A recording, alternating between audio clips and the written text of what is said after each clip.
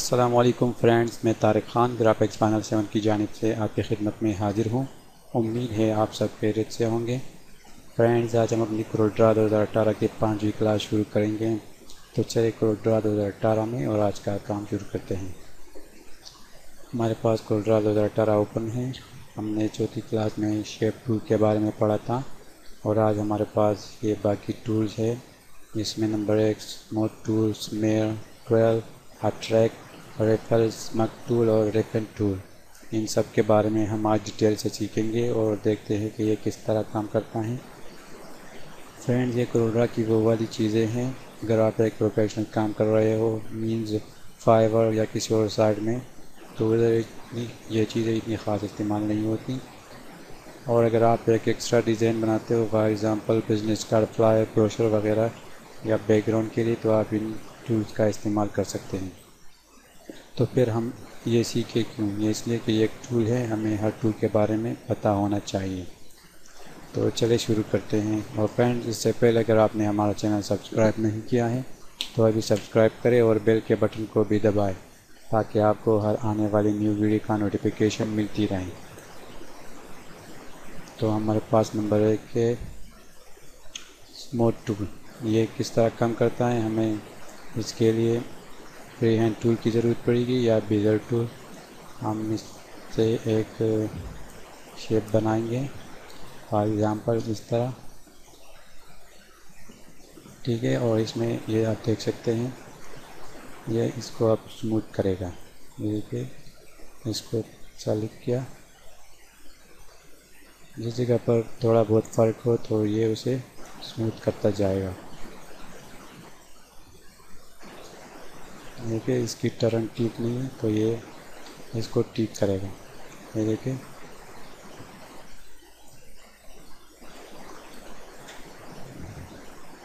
इसकी टर्न में स्मूथनेस पैदा करेगा। तो ये बहुत ही मज़ेदार टूल है। और दूसरे नंबर पर हमारे पास क्या है? पास है स्मेयर टूल ये हम किस तरह इस्तेमाल करेंगे? मैंने फ्रेम टूल किया बीजर क्लिक किया और अब हम लेंगे स्मेयर टूल आप देख सकते हैं, मैंने इधर इसको ड्रैग किया राइट जाने लेफ़्ट तो ये इसे टर्न करेगा, ठीक है? तो आप इसकी सेटिंग यहाँ से चेंज कर सकते हैं।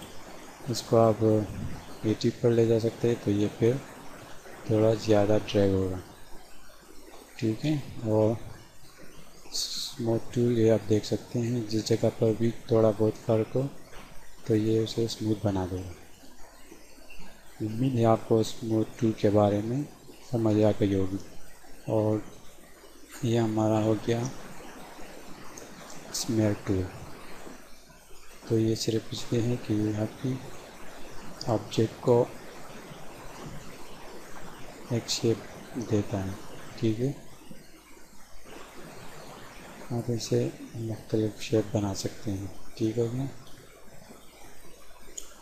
और इसके, अब हमारे पास है ट्वेल्व टूल यह हम रेक्टेंगल पर यूज़ करेंगे। इसकी सेंटर पर माउस के लेफ़्ट बटन को दबा के रखें। पहले इसको सेलेक्ट करें और इसके बाद माउस के बटन को दबा के रखें तो ये एक लॉलीपॉप सा बन जाएगा। ठीक है? इससे आप मुख्तलिफ़ चीज़ें बना सकते हैं। फॉर एग्ज़ाम्पल बार्डर वगैरह अब मैं इसकी रोटेशन चेंज करता हूँ। ठीक है? यहाँ से आप रोटेशन चेंज कर सकते हैं। तो ये दबा के रखे तो ये मज़ेदार बार्डर बन जाएगा और लॉलीपॉप की शक्ल लेगा ठीक है? और यहाँ से आप इसकी सेज बढ़ा सकते हैं। ये तकरीबन आधा इंच है। अगर आप इसे एक करें तो ये एक इंच हो जाएगा। ठीक है, ये आपकी मर्ज़ी से इसकी सेटिंग आप कर सकते हैं, छोटा बड़ा और इसकी डायरेक्शन और रोटेशन वगैरह आप यहाँ से सेट कर सकते हैं। ठीक है? और इसके बाद हमारे पास क्या है? देखो इसमें अगर थोड़ा बहुत फ़र्क है, इसमें तो फ़र्क नहीं है, लेकिन अगर आप स्मूथ टूल लेंगे तो वो उसकी थोड़ी बहुत जो उसमें फ़र्क होगा, वो उससे स्मूथ बना देगा, ठीक है? और इसके बाद है अट्रैक्ट टूल ट्रैक टूल हम किस तरह इस्तेमाल करेंगे? देखिए, ये भी आप अपने ऑब्जेक्ट को इस तरह बाहर की जानब अंदर की जानब ले जा सकते हैं, ठीक है? और आप इसे यहाँ से इसकी आप सेटिंग कर सकते हैं कम ज़्यादा। ये टूल्स इतने ख़ास नहीं है लेकिन टूल्स है, सीखना पड़ता है। ठीक हो गया।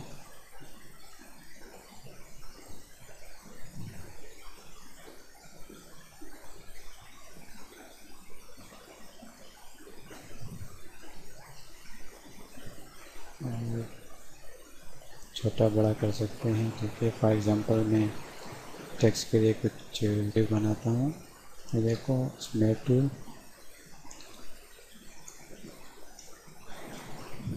और इसे ऊपर नीचे कैसे एक शेप बन जाएगी, ठीक है? ठीक हो गया, अब मैं इसे कलर देता हूँ। ड्रॉप शेड देता हूँ।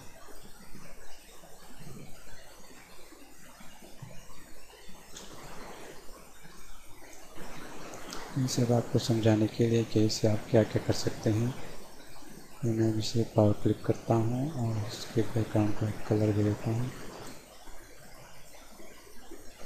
ये देखिए, इसमें आप अपनी मर्ज़ी का टेक्स्ट लगाए तो बहुत ही मज़े का शेप है।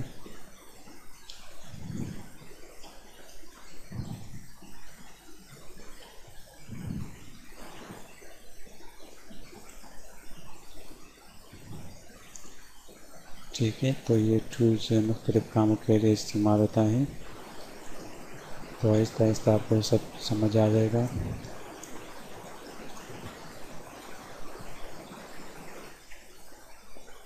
ये टूल्स इतने ख़ास नहीं है, लेकिन सीखना ज़रूरी है।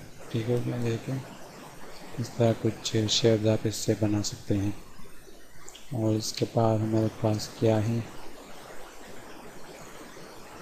रिपल टूल या आप एलिप्स टूल इन सब चीज़ों पर इस्तेमाल कर सकते हैं। फॉर एग्ज़ाम्पल ये देखें मेरे पास एलिप्स टूल्स है, मैंने इसकी कॉपी ली और मैं इसको अप्लाई करता हूँ तो स्मूथ है ही।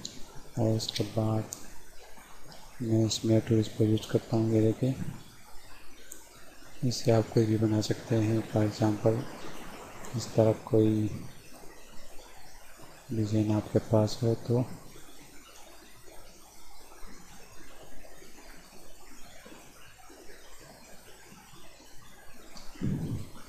ठीक है तो अब मैं स्मेट का इस्तेमाल करता हूँ कि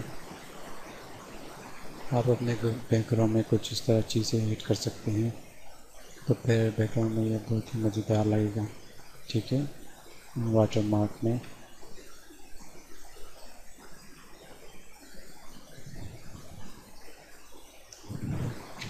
ठीक हो गया। और मैं एलिप्स टूल को यूज़ करता हूँ। फॉर एग्ज़ाम्पल आप एक एलिप्स टूल ले लेते हैं और इसको अब मैं छोटा करता हूँ तो ये देखें, ये इधर बिल्कुल ही एक दूसरे के साथ टच हैं। अगर आप इस तरह करते हैं कि